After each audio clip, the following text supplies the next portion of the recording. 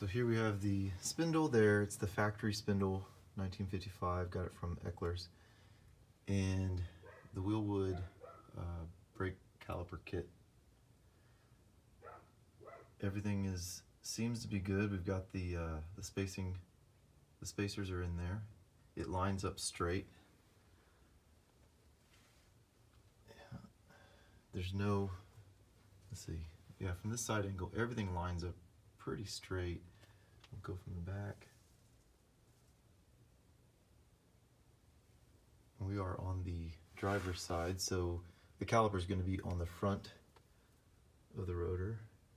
Okay, so that's what that is looking like. Um, I'll show you what it looks like when we put on the rotor.